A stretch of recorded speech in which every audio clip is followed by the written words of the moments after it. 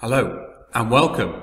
You've probably got exams coming up soon in the next few weeks. So what I've done here is put together a video of tips and tricks, things that might help you, help you get ready for that exam. Now, please, as always, thank you for watching. Please, before you go any further, please like and subscribe. I greatly appreciate it. So let's go and have a look at some tips and tricks that might help you. So the first thing we're going to think about is what exactly is revision? So it's all about the recall it's all about the process you go through so that when you get into that exam, you can recall the information you need. So make sure that you practice and refine the skills you need for the exam. We can talk about that in this video. And if you think about exercise, if it's not challenging, if it's too easy, it's not really doing very much, your revision is exactly the same thing. It should be difficult, uncomfortable, and challenging for you. Otherwise, it's not really making making you make much progress. And again, we'll look at something else in the video now that's going to help you with that. I've got some tips and I've got some tools that can help you with that point. It should be planned and you should really know what you're doing before you even begin. So you're not just going to pick up a random textbook and start looking at it. You should be planning it out. You should have exact time frames so you know exactly what you're going to do.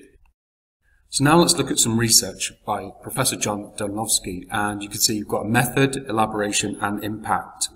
So it's fairly self-explanatory. Down the left-hand column, you've got the method, so summarizing through to distributed practice.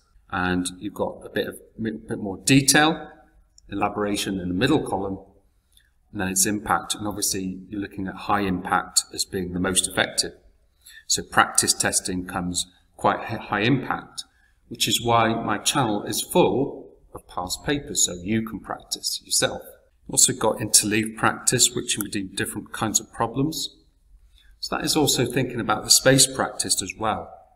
So you go through one topic, you leave it for maybe a week, and then you revisit it, and that's space practice, that's interleave, and you mix the different topics in, you don't go through kind of in a linear fashion through the specification.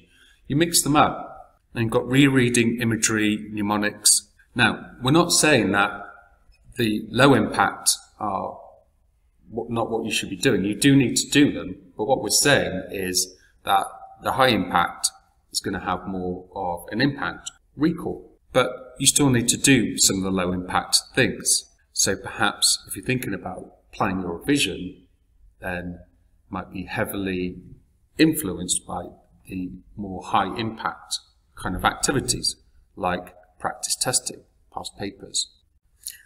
Now, there is something you can do right now that is going to make a massive difference to your revision. It's going to be a game changer, particularly if you haven't got long left. Do this right now. Half an hour well spent. Download my PLC, link in the description. Go through it carefully.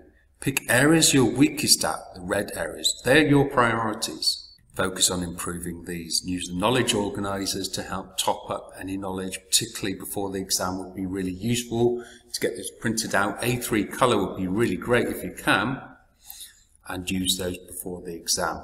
So how do we use that then? Well, it is a PDF file. You can download it. You can print it out if you want and fill it in by hand, or you can just simply use fill and sign if you've got that function available to go through and tick it like I have. So you go through each part of the specification and you tick what you can do, which is green, what you're sort of okay with, and then the red, the most important. That is most important because that's what you can't do. That's what you need to do right now. That is your priority. The green is okay. You don't need to go back. Maybe just kind of brush over it again, but the priority areas are your red areas and you need to go through them. So why is this useful? Well, what it will do is it will prioritize your revision. So rather than go through everything, all the stuff again and again and again, which is a waste of time, you are focusing on your priority stuff you don't know.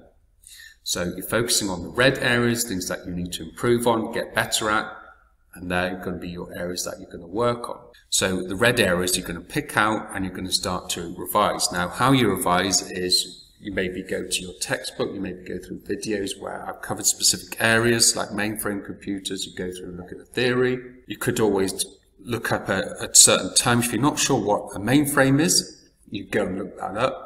So these are your priority areas, not the green areas. It is better use of your time to really focus on those red areas. Another useful thing that you can do is download my knowledge organizer. And again, link in the description. I've made this available. It is free for you to download, no charge. Download it, use it, print it out in color, whatever you want to do with it. Okay. Use this particularly before the exam, maybe the night before, last minute cramming. This will be really useful for you to look at. It's got all six topics on there and revision areas that you need to focus on. So this could be really useful kind of brushing up knowledge. This isn't all of the revision you need to do, but this will help kind of fill in any gaps, maybe last minute gaps that you need to you need to look at before your exam. And in particular, it would be useful on the morning of the exam or the night before the exam would be useful to look over again. One thing I would suggest to do is perhaps if you can print it off in A3 colour and place it around your room. It doesn't have to be colour, it could just be in black and white if you wanted it to be. A3 would be best if you can and put them up um, on walls. That would be really useful for you to look at and particularly useful for spaced learning where you're just looking over something you've looked at a week before just to brush up on your knowledge there. So again, link in the description. Please feel free to download that. It's another tool that you've got to help you. And finally, I'd like to wish you good luck. I hope your exams go really well for you. I'd like you to remember that proper preparation prevents poor performance. So the more prepared you are, the more you've revised, the better your exam's going to go. It's no big secret. It's been like that since I was at school and before that. The more revision you do, the better you're going to do in the exam as long as you're following some of the tips and tricks in this video, you will do really well. Now, good luck. Please let me know, either via email or in the comments, how you got on. I always like hearing success stories.